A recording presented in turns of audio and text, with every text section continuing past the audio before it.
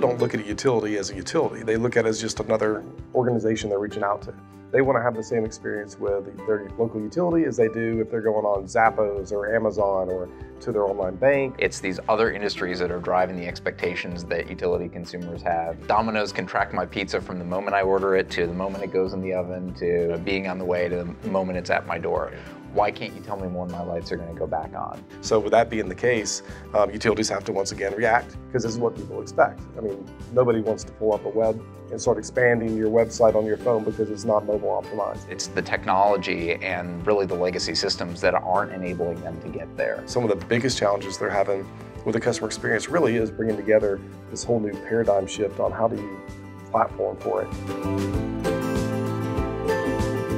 50% of utilities currently have a strategy in place to deliver a consistent and high quality customer experience. Of course, you know, the folks that are leading the implementation of that strategy, they like to see more budget and more people. I think it's definitely people, process, and technology too. One of the biggest things we see in the utility space from people asking from us and what we're doing is preference management centers. Looking across the utility landscape, about 44% of utilities today have some sort of preference portal where consumers can tell them what they want. You've got probably all but about 10 or 12% of the remainder planning to do a preference center either this year or next year. So it's really, it's really coming on strong.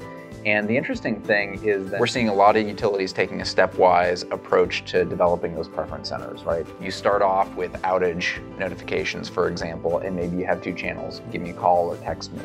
But then over time, they're expanding to include other things like high bill alerts or bill due date notifications and other channels like email, even the snail mail even utilities that are embracing this whole customer experience, and these digital platforms pretty well, many of them are still siloed divisions. Like the social group might be totally disconnected from PR, which is totally disconnected from customer service, which is totally disconnected from billing and finance. Those are some of the walls that are starting to come down, but you've got regulations and compliance that you have to watch and be careful with on the data sharing. So once you really figure out the kind of value or the kind of experience that you're trying to deliver to your customers, and you understand what data is necessary to actually drive that experience, then you can be much more strategic. It's critical. You know, it's kind of step one because especially utilities, they, they're not lacking for data that you don't need to pull the full data stream from the ERP system on the finance side. All you need are a couple data points from them that you can use that maybe desensitizes the whole situation. And it's not a huge data integration project. It's not as time consuming or expensive and you can actually get it done.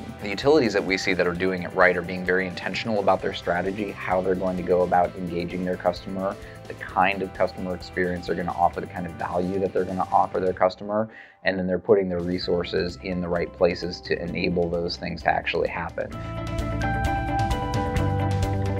Once you do, you know, maybe you have personas, you have a market segmentation study completed, you understand kind of the journey map that your clients should take.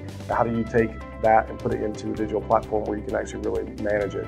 There's a lot of education that's still taking place on moving some of the effort from IT over into marketing or communications groups? Is that transformation happening? So when we look at, at utilities, really ease of use is a big factor. I was just reading a, a case study the other day looking at how to reduce frictions for online bill pay, for example. One utility in Florida has streamlined its process so when you get your bill in the email, there's a button click to pay.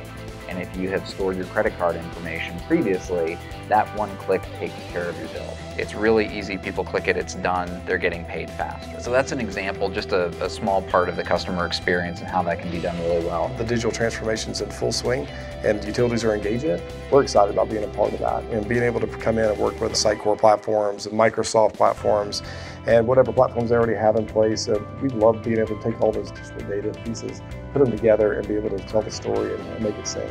So it's that crawl, walk, run, fly kind of um, mentality that the utilities are, are beginning to embrace.